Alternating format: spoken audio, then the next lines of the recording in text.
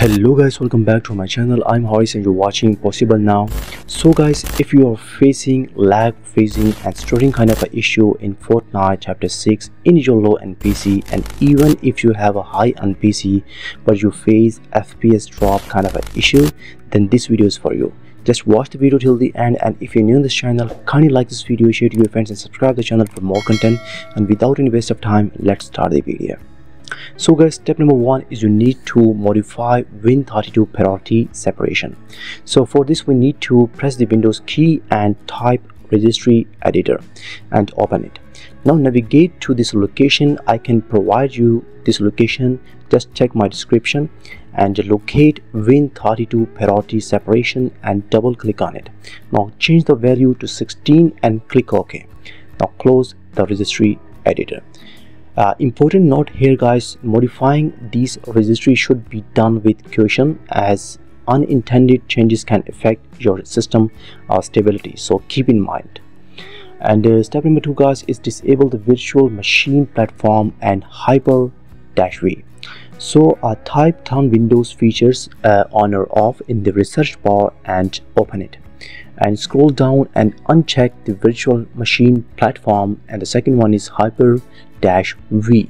Now click ok and restart your pc disabling these features guys free up the system resources that can be better used for gaming. And after that guys the next method is we need to turn off some settings. So what you can do is uh, go to the uh, search bar and in here you need to go to the settings option and in the privacy option guys we uh, you see the general option.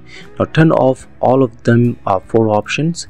And in the uh, background apps you need to turn off all the background apps running in the background.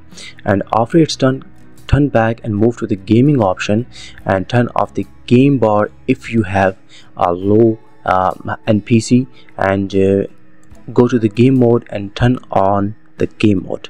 And after that guys the next thing is we need to uh, free our CPU space because Fortnite is a CPU game that mostly depend on your CPU and uh, most of the time uh, some applications and programs takes your CPU memory and that's why you face random crashes in your game. So what we're gonna do is open the task manager and check your CPU space from here.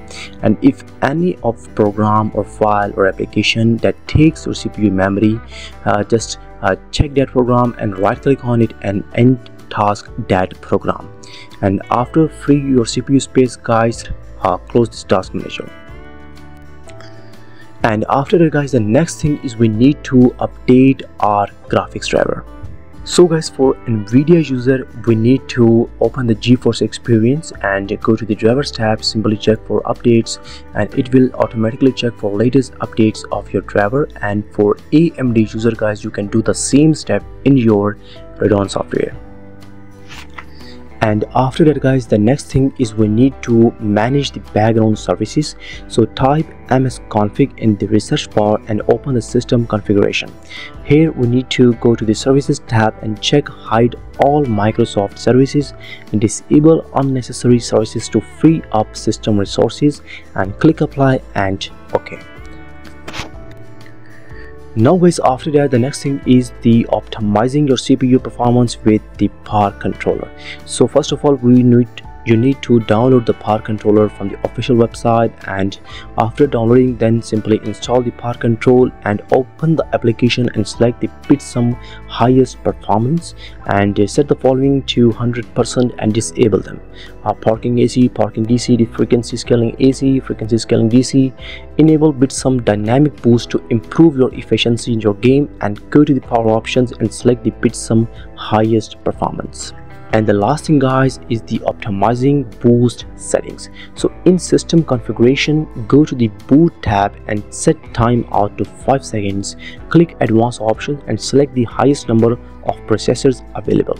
And apply the changes and restart your pc and guys by following these optimizations your pc should now perform significantly better providing smoother gameplay and higher fps in your game. And if you found this guide helpful Kindly like this video, share it to your friends and subscribe to the channel for more content and we will meet in the next one. Until then, peace out.